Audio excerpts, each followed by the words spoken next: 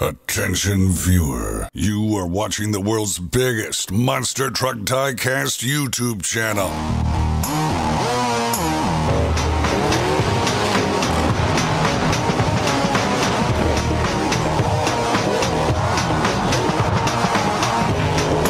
This is Monster Jam OCD. Well, hello Monster Jam fans and welcome back to another Monster Jam OCD review video. Today we are taking a look at Series 13 of the Dirty to Clean Color Changer series by Spin Master and Monster Jam. Now we have already actually seen this entire assortment revealed on Spin Master Power Zone's YouTube channel when it was actually demoing how to use these new color changers, but uh, this is our first time actually seeing them in great detail. So today I'm going to review all of them for you. This assortment, of course, has the brand new Thunderbus, which people have been very uh, interested to see its actual decals and the design. So uh, I'm very excited to have this here on hand for review today. I want to note that this is coming out before the singles one will be out, uh, but there will be a normal edition in singles uh, in the far end of 2021 probably closer to 2022, going by the way distribution is happening right now. But uh, at some point, there will be a normal version of Thunderbus. And Thunderbus is against the Dragon for good reason. I'll show you why in a moment. But we're not going to start with this pack. We're actually going to start with the uh, kind of southern versus northern uh, pack here. So we have the El Toro Loco versus the Canadian truck here. So it's a really cool uh, matchup if you understand why they paired them up. Uh, so we have two classic Monster Jam trucks. Uh, so here's the packaging as usual, same stuff going on. Uh, the Series 13 label in red, and then the back of the box here with all the renderings of each truck. You can see we also have Soldier Fortune versus Zombie and Grave Digger Green Ghost versus Calavera. This is a print error. This is not Black Ops. It's going to be normal Soldier Fortune. So uh, there it is. And then we have uh, the two trucks inside the pack and then the demo of the uh, temperatures of water, how to change them. So I'm going to unbox this. This will be the only one I actually show unboxing on camera. And then we'll do the actual color change demo. So here we go. Okay, so El Toro Loco and Northern Nightmare, two very familiar faces from the normal uh, standard Monster Jam fleet. So it's very nice to have them in this uh, Dirty to Clean series because these were trucks that you would usually see on the circuit. Right now, Northern Nightmare is not currently running any shows, but El Toro Loco is definitely still out there. So uh, we're gonna change Northern Nightmare first. Uh, the mud pattern seems to be a little light, so I'm actually gonna bring it back uh, if it will. Uh, sometimes my early samples have a light coat of mud, uh, but you can still see it here. Okay, I switched the uh, the cups around because I had the warm on the left side, which I usually have on the right. So uh, here's the muddy edition of Northern Nightmare, and we're gonna clean that up there.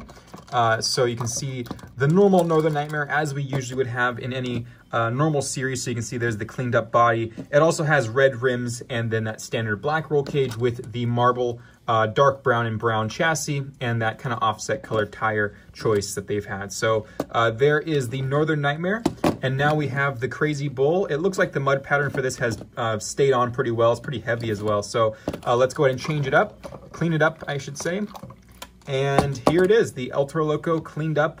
Uh, looks very nice. Of course, just a standard El Toro Loco now, but uh, let's bring it back to its muddy version.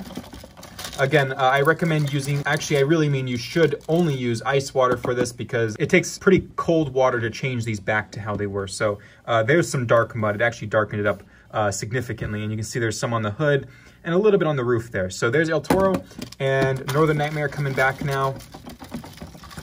Uh, this one has a little less mud, so it's harder to see, but uh, there's the Northern Nightmare. And next up is the pack with the Soldier Fortune and Zombie. And here they are, Soldier Fortune and Zombie. So Zombie has a pretty light coat of mud, but Soldier Fortune's a little more noticeable on its side panels. We will do Soldier Fortune first, so uh, let's just clean it up so we can see the uh, normal decals here. So there is the cleaned up Soldier Fortune. Uh, there is some updates to this Soldier Fortune. They do have the printing on this sidebar here, uh, but they do not have it on the top here. So we've kind of been going back and forth with Soldier Fortune where it'll have these updates and then it won't. Uh, so far, we have not had a fully updated Soldier Fortune for the singles packs, but uh, there's some things for the design team to note. Uh, also, this, um, this bar up here needs to be painted black, but uh, those are just little things. So there's Soldier Fortune. Let's change it back to the mud. Actually, I should have done zombie, but uh, let's change it back to muddy. And that definitely darkened up the mud on that second go around. So there's the muddy version of Soldier Fortune. So it looks really good there. And uh, next up is Zombie. Also, I just want to note that the uh, the rims are the same as the body, so it's not really much of a change besides the new chassis color. And then uh, Zombie here. So I want to uh, change it to the clean version, then we'll check it out uh, with the darker mud because it's going to darken up here. So let's clean up Zombie. Classic Monster Jam truck here as well. So there's the cleaned up version, um, as we've seen many times before. And uh, let's change it back and bring the mud on stronger with this cold water. And uh, there we go. So uh, I guess you can't really see it much on this one. A little light on the mud coat for Zombie as well, but you can see on the bottom a little bit, a little bit on the face there. Uh, and a tiny bit there. But uh, yeah, that's Zombie there with the red rims. So here they are, a classic, of course, the Green Ghost Grave Digger that everyone always loves seeing in special and normal series. And then we have the new face here, Calavera from Mix 14 uh, Spin Master Monster Jam. I do have the normal one here to show you uh, with the Boneyard Trucks roll cage. Basically, the only thing that's changed is the mud on the body, the roll cage, and the chassis color. Uh, the rims and everything else kind of stayed the same. And then Green Ghost Grave Digger actually has an update that was noted in its Reveal the Steel one from last year. So this has had two color shifter uh, changes. Uh, the mouth there was actually changed by the design team to be accurate or more accurate to the real life truck. Also, if you'll see on the one I'm about to show you, the Spin Master, Monster Jam, and other Tombstone logos have been significantly cleared up uh, compared to that past Reveal the Steel and other versions. So you can see uh, these are very, very clear now. I'm not sure how they're doing that, but these are extremely clear on this new version. So let's check out the cleaned up Calavera. So here goes Calavera to clean it up, and then we'll check it out uh, with the mud on it again. So there is the Calavera, if I can focus the camera. There we go. So you can see all these skulls on the side. So the Mexican holiday, uh, Dia de los Muertos, actually, uh, these are skulls or candy skulls are usually just paper mache skulls that they decorate with like flowers and uh, different art forms. But um, Calavera actually translates to skull in English, but these things are actually what they call Calaveras when they design them. So kind of a dual meaning there for uh, this truck, and it's really cool that they have this uh, to celebrate that holiday, as I mentioned when I reviewed it before.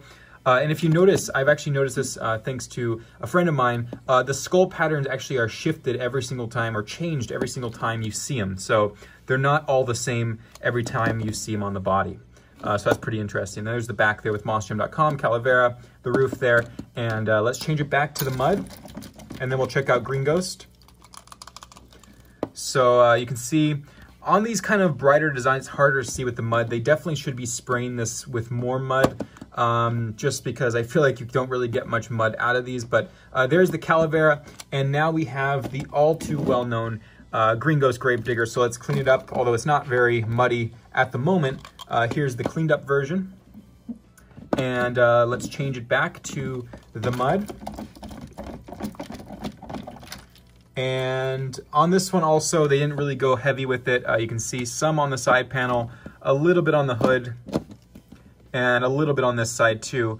But uh, it looks like my samples this time just didn't get much mud. Uh, El Toro Loco is really the only muddy uh, edition that we had this time around, but there's the Green Ghost Grave Digger. It also has these neon uh, retro rims and the tires as well that are retros. So if you guys need uh, neon green rims for any retro trucks, there's your chance to get them. Okay, so here they are, Dragon and the Thunderbus. So Thunderbus is actually a brand new concept by Jordan at Spin Master. I've mentioned him many times in my past videos. If you want to follow him, his account is Lupo Lazers on Instagram. He is the designer for the Monster Jam uh, products at Spin Master, and this truck is actually all of his own artwork, if I recall correctly. I believe it is all his artwork. He's a uh, was and still is a character designer, so this stuff definitely is uh, his forte, and a lot of his different little uh, influences are on this truck. So we're gonna check that out in a moment, but we're gonna do the Dragon first to get it out of the way. Uh, it has these nice dark green rims and uh, that muddy pattern, so let's clean it up and then check it out. And there's a reason Dragon is in this pack, and I'll show you in just a moment. But uh, there's the cleaned up Dragon that we all know, very standard here. Let's change it back to Muddy. And on the wings here. Okay, so uh, this one actually got a good mud coat. So you can see it's got some in the wings, it's got some on the side panel, uh, definitely on the hood there and definitely more on this side as well. So there's Dragon.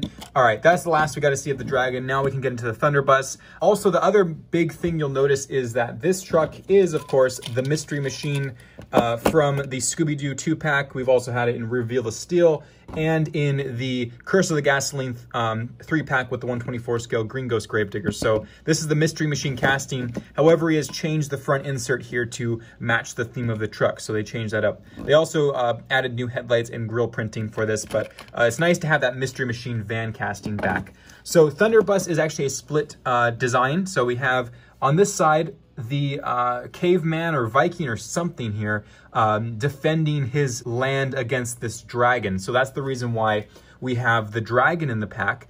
Uh, but on the other side, it actually has the unicorn. And if you notice how familiar this unicorn looks, this is actually Sparkle Smash. And that's his favorite uh, design that he's ever done at Spin Master. At least uh, last time I talked to him, it was his favorite. So Sparkle Smash uh, is right here. So this pack actually would have worked if you put Sparkle Smash against it or Dragon. Uh, but I think that uh, they honestly probably should have done Sparkle Smash to add a little more character to it. But yeah, we have Sparkle Smash on this side and we have the Dragon on the other side. either way, this truck works with those two pairings. You can see on this side, actually, let me clean this up so you can see it better. I apologize for that.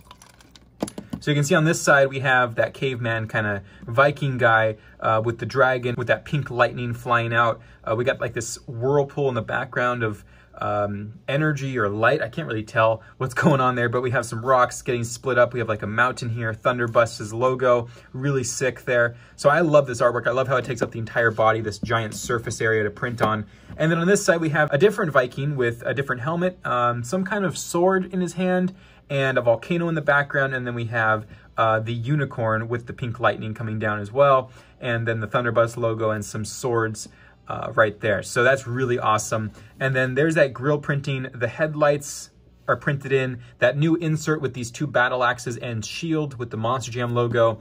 Uh, there's the windshield and the roof there has some white stripes on the top. And then the tailgate is printed on as well with the Thunderbus logo, that kind of whirlpool of light and energy. And then we have the two taillights in yellow. So it's an awesome truck. I can't wait to see it in singles packs. And I think that this truck is just absolutely incredible. So uh, let's change it back to muddy and then we'll sign out of this video. This has been a really cool uh, Dirty to Clean series. So uh, here's some dirt. You can see a little bit of it. It's hard to see it on this truck because it's a lot of dirt tones. But um, yeah, Thunderbus for the uh, Dirty to Clean series, and then of course in the singles packs from the Alternate Dimension series later this year. Thank you guys for watching. I hope you guys have enjoyed. Please let me know what you guys think about Thunderbus and the other trucks in this assortment in the comments below. And until next time, this is Ryan or Monster Jam OCD signing out.